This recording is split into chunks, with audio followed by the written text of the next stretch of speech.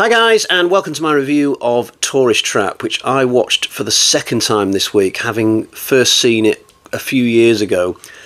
This is essentially a killer mannequin movie that will either turn you off straight away or it might really turn you on, in which case you can stay. So this was directed by David Schmoeller. He went on to direct the first Puppet Master movie, which in my opinion is one of the only Puppet Master films worth watching. Not too far apart, are they? Puppet Master and this. In terms of the actors, the only one that I recognised coming into this was Tanya Roberts. She went on to play the, the character of Stacey in A View to a Kill. That's what she's most famous for, being a Bond girl, although sadly she died quite recently during COVID, I think. But long before Tanya Roberts got to dine in opulence with Roger Moore as he served her quiche, she had to run around in a tight little top being chased by mannequins. That's just how Hollywood works, unfortunately. You've got to sort of work your way up. You, have got to earn, earn the right to sleep with good looking grandpas. Also, in this film, we have an actor called Robin Sherwood. Robin Sherwood? The name just jumped out at me when it came up on the screen. What next? A Giallo film with somebody called Maximus Rome? What what are parents thinking sometimes when, when they name their kids? So in terms of story, what we've got here, we've got five youngsters. They're driving down the freeway. I'm not sure where they're going. They break down, of course they do, and they stumble into a closed wax museum kind of a thing with mannequins and wax models. It's all run by this 60 year old proprietor who initially takes them in and gives them a beer and he's being all nice and stuff. But as the movie progresses, these kids they start to get picked off one by one of course they do but we're not sure if it's the proprietor doing the killing or whether it's the work of his brother who this guy uh, apparently he helped design a lot of the models and stuff but then he moved away or did he? And I won't give away whether it's the proprietor or his brother. I'll let you discover that for yourself. When I was watching this, I very much thought that this film was a combination of Texas Chainsaw Massacre and Psycho. But I just happened to look at the box as I was putting the disc away, and it says on the front, it splices together elements of the Texas Chainsaw Massacre. Tick, that's exactly what I was thinking. Carrie, Okay, uh, well, the, the the models in this, the, the mannequins, they are being controlled by telekinesis, so fair enough. And House of Wax, which yeah, I can I can totally see that as well. Uh, although personally, I've only ever seen the really really old uh, House of Wax, which which is nothing like this. Maybe the modern version with Paris Hilton is is a little bit like this film.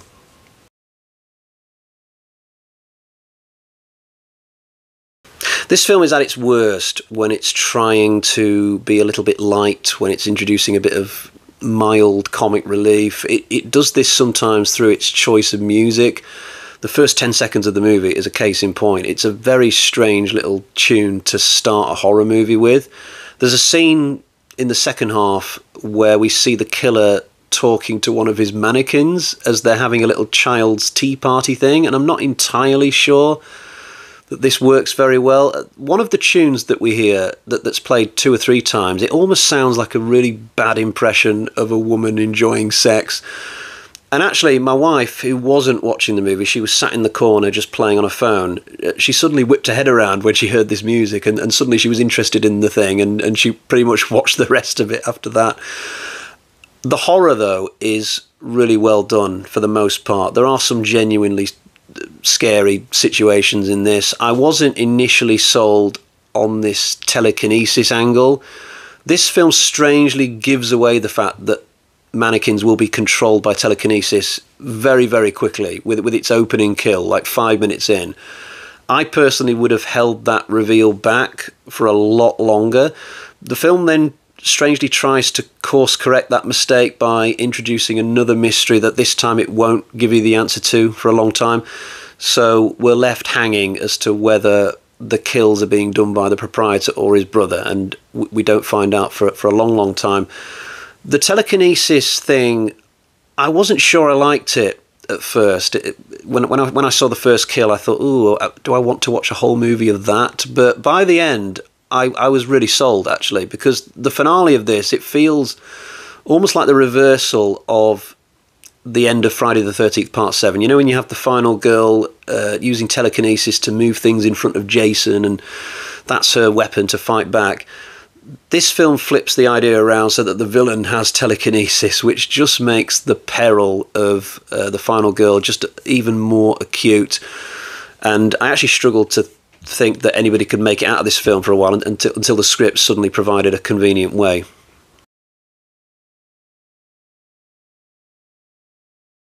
The kills are definitely one of the movie's strengths. There are several good ones here. One of them that really amused me is when one of the women runs into a room full of wax models of historical figures, people like Napoleon and a few other people.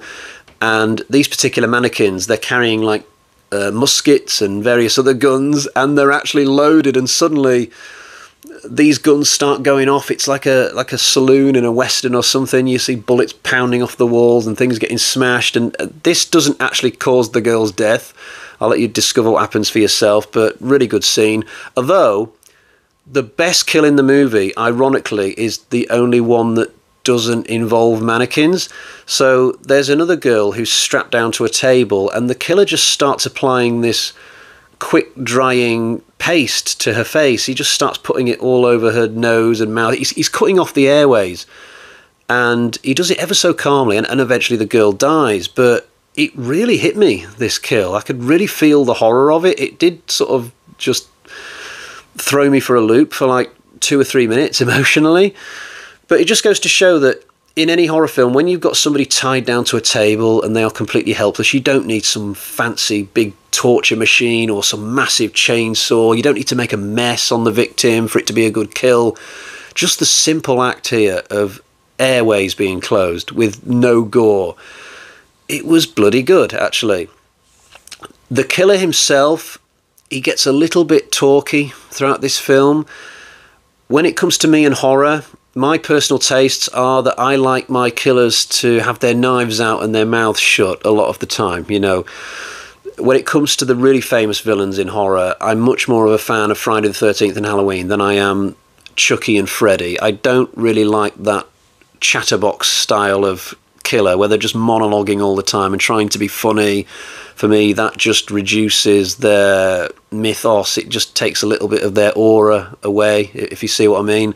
The killer in this film definitely pushes it close to the line on that score. He does a lot of monologuing and talking, and I could feel my uh, thermometer for this going into the red zone almost. I, I, was getting there. I was getting close to being pissed off, and then but, but but it didn't quite cross the line. And for two reasons. I think, firstly, the killer's voice is actually quite creepy, to be fair. When he's talking and carrying on, yeah, he does have a creepy voice. Secondly, this killer is not somebody who will monologue for ages and then give the victims a convenient chance to get away where you just think, okay, that was a bit pathetic. Even though I want the victims to win, that was really pathetic.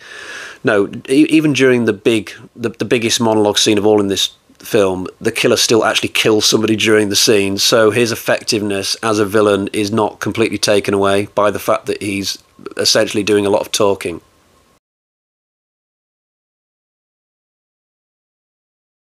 So, just to slightly contradict what I said earlier, there is one admittedly funny moment in this film. So, this proprietor character, he's a little bit like a more cuddly version of Mick Taylor from Wolf Creek. He's a bit like a children's variety entertainer who's got a bit too old for the gig, and now to listen to him, it's just a little bit uncomfortable. And in his first scene in this, he stumbles across the three female characters nude bathing in an outside pool and he just plonks himself down on the on the riverbank and just starts droning on about the local area and how uh, things have changed over the years. And meantime, these three girls are just stood in the pool, not caring about this. They've just got their arms over their breasts, like, when are we going to be able to move or get out of here? That that that that scene did make me laugh. To be fair, right, I'll quickly show you the version of the film that I've got. Here is my Blu-ray copy of Tourist Trap. Not the best front cover I've ever seen, personally, but the film looks really good on this transfer, a little bit grainy for a Blu-ray, but on the whole, still very, very good. Um, a few featurettes and things. Uh, there's no commentary or anything, but there's one or two things that might pique your interest. Tell a lie, there is a commentary. I've just spotted it. There's a commentary by David Schmoeller. I might have to check that out. There's also a six-page booklet that comes with this version that was done by 88 Films, who often do very, very good uh, Blu ray releases. And there we have it. And apparently, Stephen King calls this one of his favourites. So there we go. Right, let's get to the bag of terror and see what the score is for this. We've got one, two, three, three and a half bloody axes out of five for Tourist Trap. This is definitely a recommendation. It's not amazing, but it's it's a solid enough little horror film. I had a good time with it for all 85 minutes that it lasted last night. So get to it. So there we are. Until next time, cheerio, bye bye.